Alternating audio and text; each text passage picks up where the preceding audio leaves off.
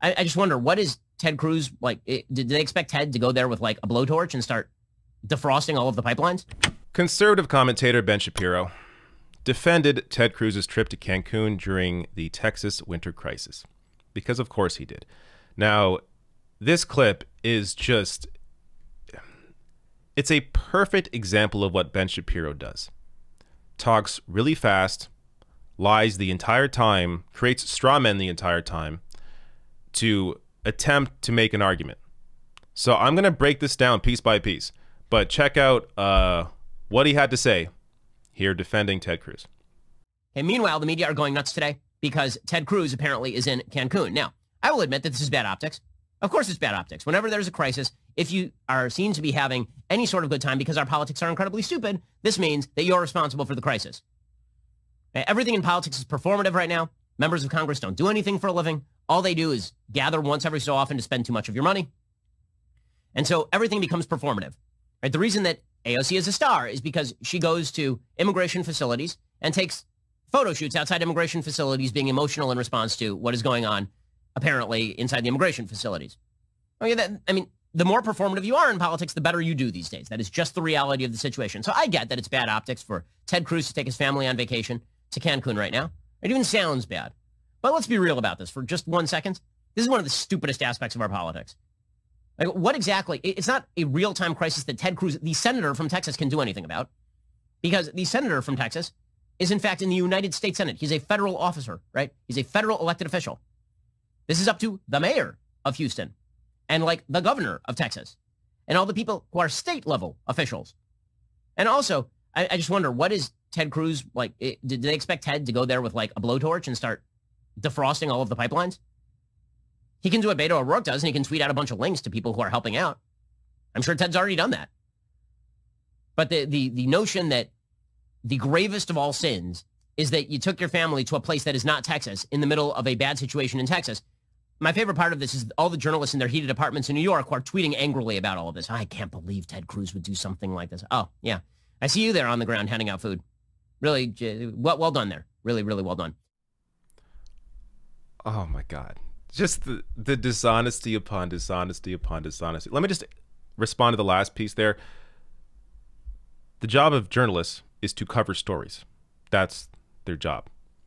The idea that journalists can't cover a crisis because that means they're not on the ground giving out food.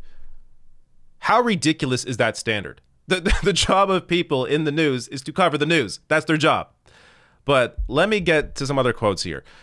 So, um, he says, uh, quote, whenever there's a crisis, if you are seen to be, ha- by the way, I would do the Ben Shapiro voice, but I'm, I haven't done it in like three years, so feel like it might not come off well. But he says, whenever there is a crisis, if you are seen to be having any sort of good time, because our politics are incredibly stupid, this means that you are responsible for the crisis. Okay, let's take this bit bit by bit here. Um, if you are seen to be having any sort of good time, because our politics are incredibly stupid, this means that you're responsible for the crisis. I'm sure Ben Shapiro has never criticized anybody in politics before for having a good time during a crisis. Oh, what am I talking about? Five months ago, Ben Shapiro tweeted out Between Pelosi eating ice cream while people head to the bread lines and Pelosi getting a blow dry while business owners are barred from opening, she's definitely got a Marie Antoinette thing going on here. I guess Ben Shapiro is part of the incredibly stupid politics that he loathes so much. Now, the other part of this of the argument that he made, um, this means that you are responsible for the crisis. Nobody is saying Ted Cruz is responsible for the crisis, but he is a senator in the state. Now, Ben also says, do they expect Ted to go down there with a blowtorch and defrost the pipelines? Again, these strawman arguments. That no, but as a senator, he has power and connections to direct aid. He can highlight problems that need federal attention. He can be a senator. The idea, I mean, uh, ima- imagine this was Beto O'Rourke. Imagine. Imagine it was not Ted Cruz. Imagine Beto O'Rourke had won that race. Beto O'Rourke, instead of going and, and helping or, or doing or being a senator, he went to, to Cancun, Mexico with his family. Do you think Ben Shapiro would be, would be on here defending Beto O'Rourke through a rant like this. Come on now.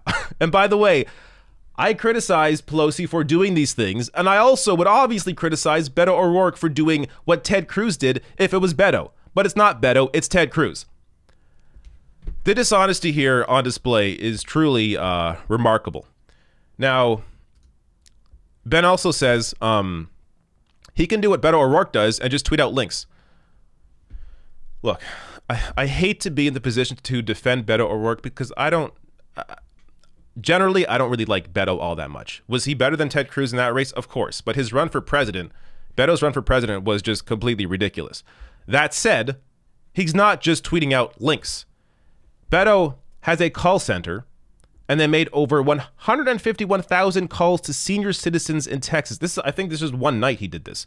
So more calls than, than, than that by now. But one of our volunteers talked to a man stranded at home without power in Killeen. Hadn't eaten in two days, got him a ride to a warming center and a hot meal. Help us reach more people. Join us tomorrow. He's actually getting help directly to people.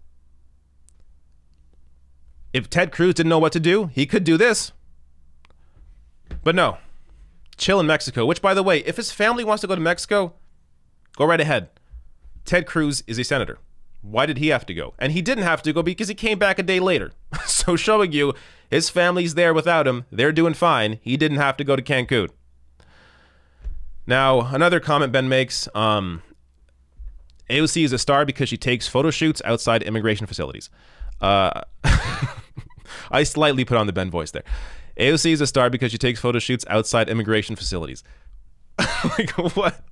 What does this even come from? It's show, like when you slow down these comments, you really see how ridiculous they are.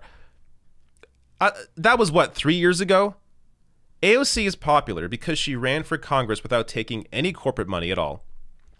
She took down Joe Crowley, who was next in line behind Nancy Pelosi to be Speaker of the House, took down an establishment Democrat, a corporate Democrat, backed only by the people, running on issues like Medicare for All, a Green New Deal, reaches a, a much younger audience when it comes to politics, getting them involved. The idea that AOC is only popular because she takes photo shoots outside immigration facilities, uh, that wouldn't even be on the list. so I don't even know what that has anything to do with anything. And by the way, on the issue of AOC, she's also done more than Ted Cruz, and she's in New York. Alexandria Ocasio Cortez raises $1 million for Texans, plans to travel to Houston. The sheer dishonesty throughout this rant is just incredible.